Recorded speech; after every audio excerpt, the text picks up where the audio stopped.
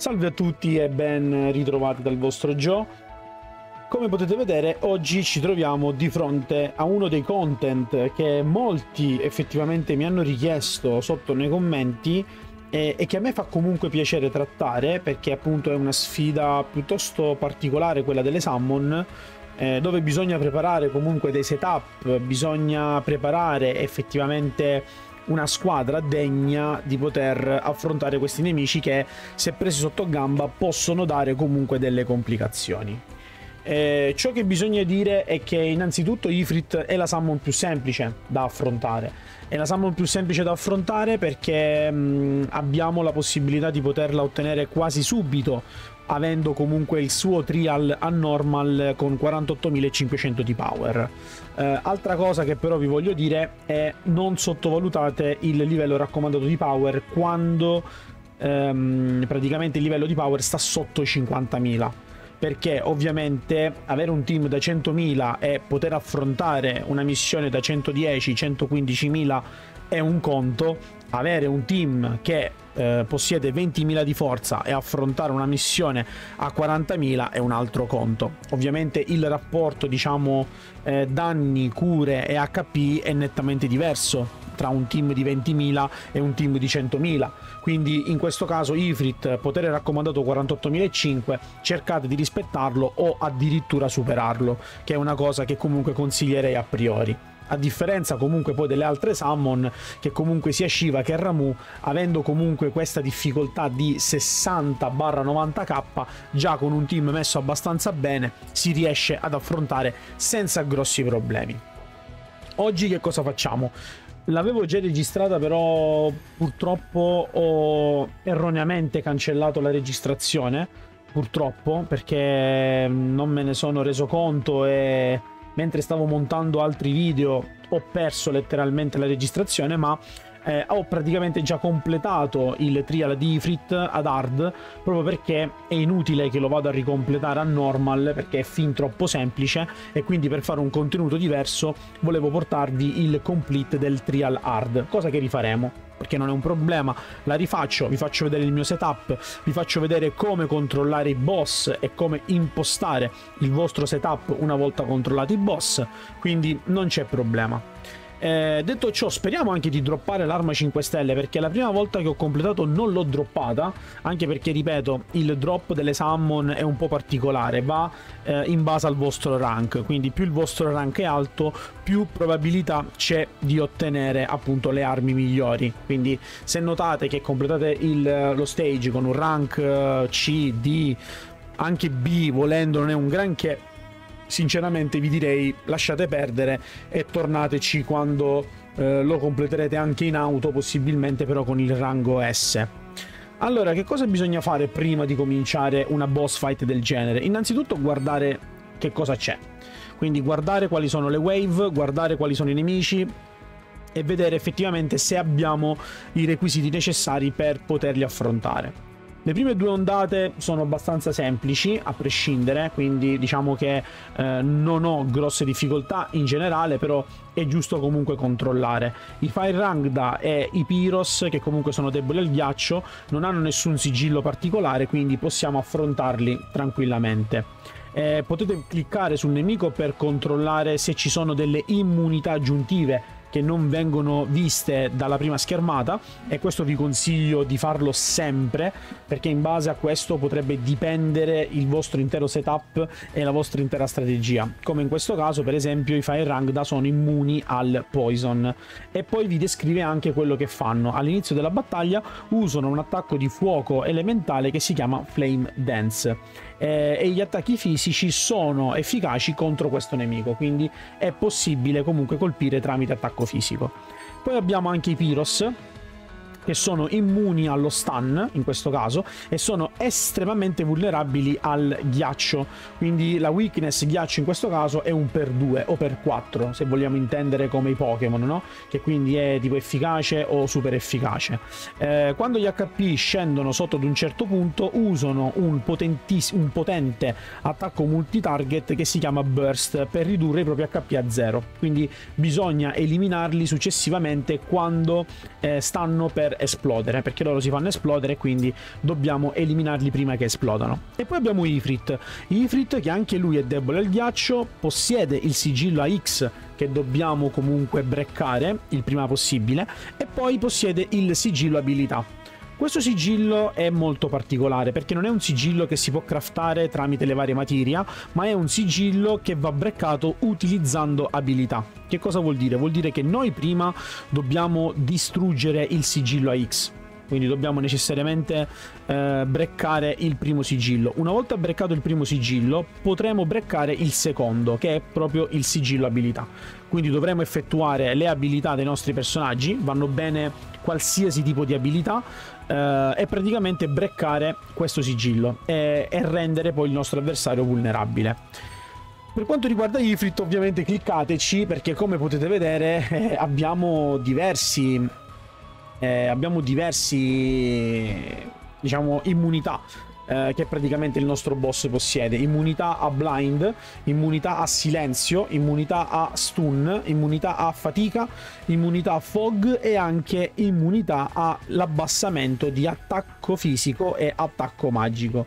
Quindi qui noi non possiamo debuffare il punto di vista offensivo in nessun modo, però funzionano i debuff di difesa, quindi eh, sia Cloud che Eris qui come debuffer o una Tifa in generale potrebbe essere un'ottima soluzione per incrementare il debuff di difesa fisica soprattutto contro il nostro avversario.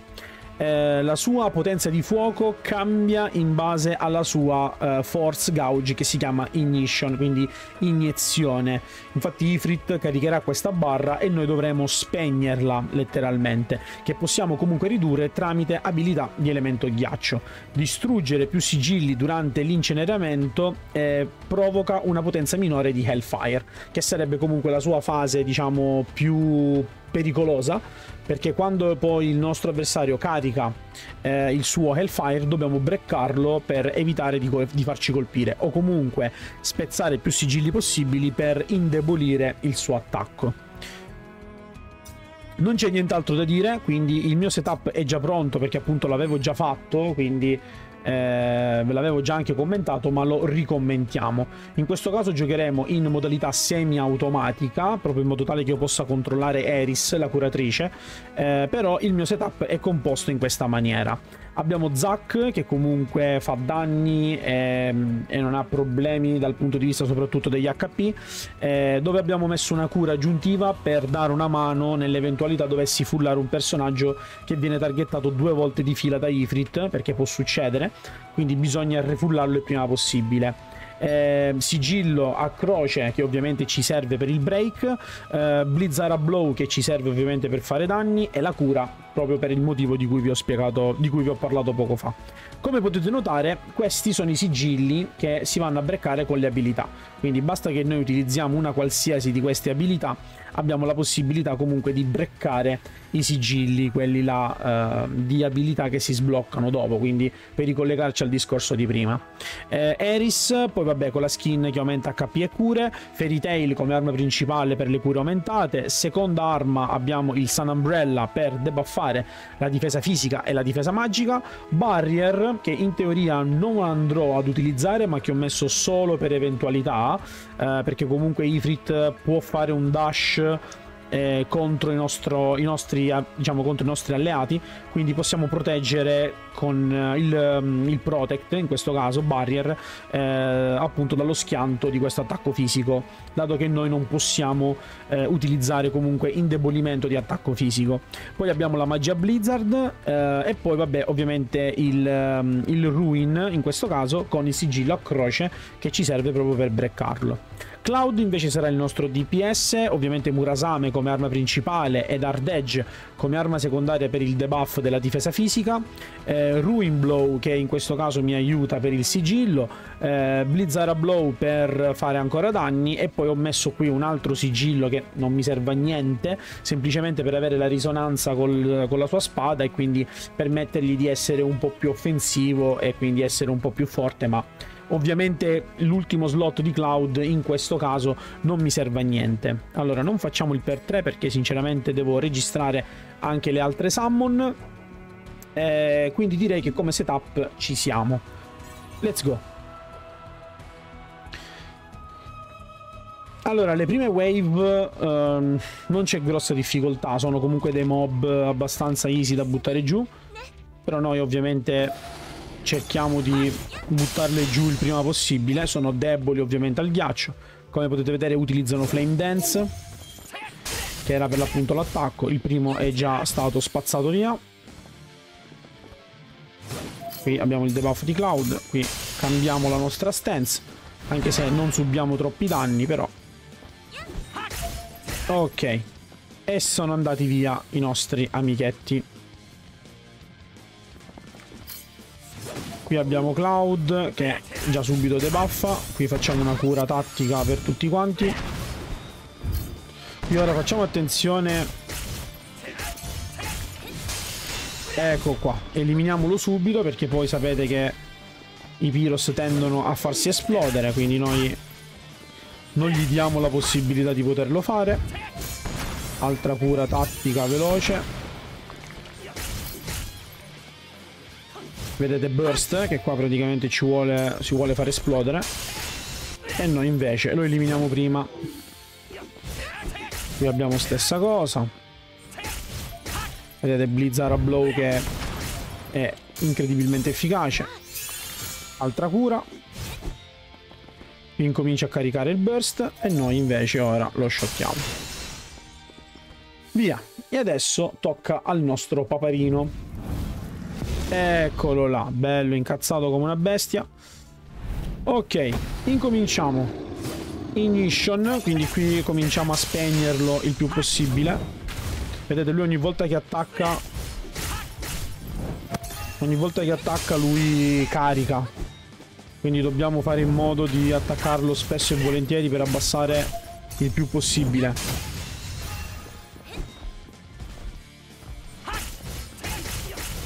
Ok, l'abbiamo praticamente spento. Perfetto, ora ricarica. Noi qui facciamo la cura, diciamo, per mantenerci, perché vedete, sta caricando Eris in questo caso. Quindi io faccio una barrier, però l'ha fatta Cloud. La cosa non va bene. Ok. Charge, noi abbiamo barrier, difesa e come potete vedere possiamo tankare l'attacco abbastanza bene, oserei dire anche. Ok, stiamo facendo comunque dei buoni danni. Ovviamente i, bli i Blizzara Blow aiutano. E qui ora dobbiamo breccare. Quindi andiamo pesantemente con il break. Qui non c'è bisogno di curarsi niente perché...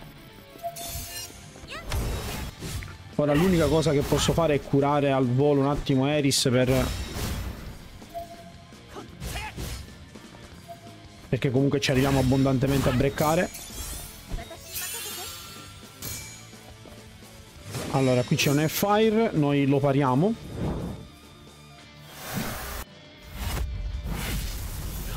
Ok, come potete vedere i danni sono stati molto molto bassi.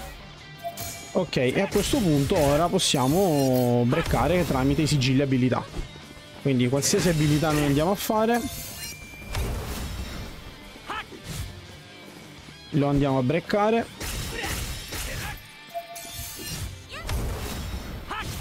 Ora manca l'ultimo. Boh. Breccato, doppia limit con debuff a livello 3, quindi faremo un gran bel danno.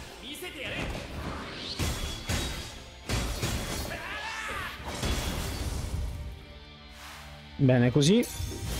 Ovviamente approfittiamone che è breccato e la nostra barra TB si ricarica più velocemente per... Per infliggere dei bei danni. Qua facciamo una cura giusto per... E qui eliminiamo il nostro amichetto. Quindi direi che con questo setup abbastanza semplice anche la sfida a 100 e passa di difficoltà. Vediamo se abbiamo culo e otteniamo la spada 5 stelle che ancora non l'ho presa. Ok, rank A, si può fare di meglio però il rank A è comunque buono, è decente. Vediamo. o niente, addirittura drop a 3 stelle, proprio mi sa che qua dobbiamo andare a S per tentare di ottenere la spada a 5 stelle, perché sennò è completamente finita e quindi questo era effettivamente quello che si fa o comunque quello che io faccio per, uh, per battere Ifrit. Quindi anche questa sfida è stata completata e noi ci possiamo vedere con il prossimo video dove appunto andremo ad affrontare Shiva. Vediamo se affronteremo Shiva in hard ci proviamo vedremo. Comunque per il momento è tutto e noi ci becchiamo alla prossima. Bye bye